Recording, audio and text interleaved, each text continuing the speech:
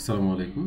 Very good morning আজকে আমরা দেখব কীভাবে কন্ট্যাক্ট ফর্ম সেভেনটা ইনস্টল করতে হয় ওয়ার্ডপ্রেসে সাধারণত যেই ফর্মগুলো দেয়া থাকে বাই ডিফল্ট ওয়ার্ডপ্রেসে সেটা জেনারেল ফর্ম নামে পরিচিত।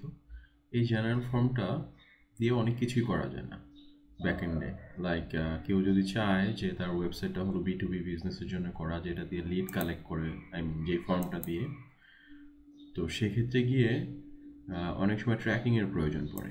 যে কয়জন লোক সাকসেসফুলি ফর্মটা সাবমিট করেছে, কয়জন আসলে ট্রাই করেছে সাবমিট করার জন্য কিছু ফিল ব্ল্যাঙ্ক থাকার কারণে সাবমিট হয়নি।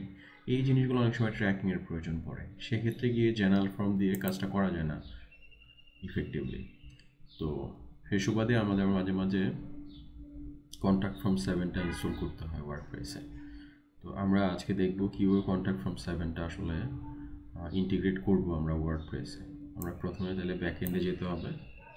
মিন দ্য ড্যাশবোর্ডে যেতে হবে আর কি আমাদের ওয়ার্ডপ্রেসের জন্য আপনার যে ক্রেডেনশিয়ালটা আছে সেটা প্রোভাইড করতে হবে। আমারটা সেভ করা ছিল, যার কারণে পাসওয়ার্ড এবং ইউজার নেম ওরা সাজেস্ট করে দিছে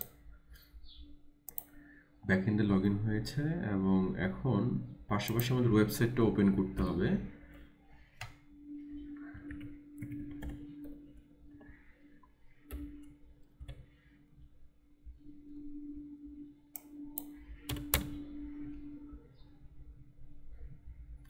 ওয়েবসাইটের যে পেজটাতে কন্ট্যাক্ট ফর্মটা রয়েছে, ওখানে যেতে হবে। এটা জাস্ট ওপেন করে রাখা কজ এখানে কাজ আছে একটু এই ফর্মটাতে তো আমরা এখন আবার ড্যাশবোর্ডে চলে গেলাম। গিয়ে একটা প্লাগ ইন ইনস্টল করতে হবে। নতুন একটা প্লাগ ইন প্লাগ ইনটার নাম হোক কন্ট্যাক্ট ফ্রম সেভেন সো এটা লিখে সার্চ দিলে চলে আসবে। এই যে এইটা। একটু দেখে ইনস্টল করবেন। Five plus million people install করছে। ইনস্টল এইখান থেকে অ্যাক্টিভেট করে দিতে হবে।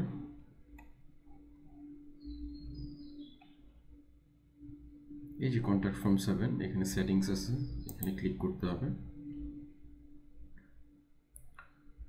এই পেজটাতে আসার পর আই মিন সেটিংসে আসার পর দেখবেন যে এখানে একটা টাইটেল আছে শর্ট কোড লেখা। তার নিচে একটা শর্ট কোড আছে আর কি হ্যাঁ? শর্ট কোড এটার উপরে জাস্ট একটা ক্লিক করলে পুরোটা সিলেক্ট হয়ে যাবে। এটা জাস্ট আপনি কপি করে রাখবেন। এটা যেখানে বসাতে চান, সেখানে আমাদেরকে এখন যেতে হবে। এই যে ওয়েবসাইটটা ওপেন করলাম, এখান থেকে আমরা ডিরেক্টলি এডিট উইথ এলিমেন্টরে যদি আপনার ড্যাশবোর্ডে লগ করা থাকে, তাহলে এই অপশনটা দেখাবে। সো আমি জাস্ট এটাতে একটা ক্লিক করলাম।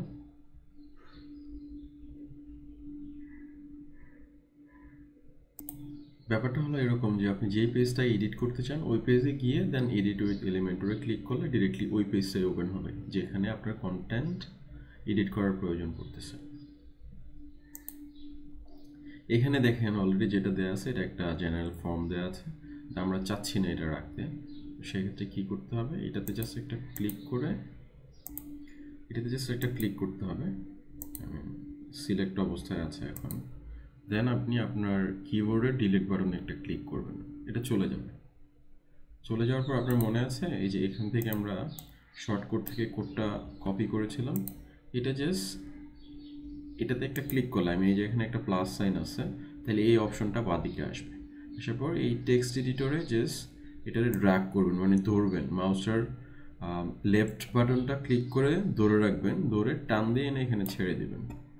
আসার পর এখানে কিছু লেখা সহ একটা বক্স আসছে, এটা পুরোটা সিলেক্ট করে ডিলিট করে দিবেন। আই মিন ব্যাক স্পেস চাপ দেবেন। দেন আপনি যে কোডটা কপি করে নিয়ে আসছেন, ওটা পেস্ট করে দিবেন। পেস্ট হয়ে যাওয়ার পর এই যে একটা স্কাই ব্লু কালার একটা বক্স দেখাচ্ছে। এইটার বাইরে গিয়ে একটা হালকা ক্লিক করবেন দেখেন এটা চলে আসছে। আমরা যে ফর্মটা চাচ্ছিলাম কন্ট্যাক্ট ফর্ম সেভেন এটা চলে আসছে। এখন জাস্ট সেভে ক্লিক করলেই হচ্ছে। আই মিন আপডেট লেখা আসবে আপডেটে ক্লিক করবেন। বা দিকের নিচে। এটুকুই কীভাবে আপনি কন্ট্যাক্ট ফর্ম সেভেনটা ইন্টিগ্রেট করতে পারেন আপনার ওয়েবসাইট ওয়েবসাইটে ওয়ার্ডপ্রেসে থ্যাংক ইউ পরবর্তী টিউটোরিয়াল আবার দেখা হচ্ছে। সবাই ভালো থাকবেন, দোয়া করবেন।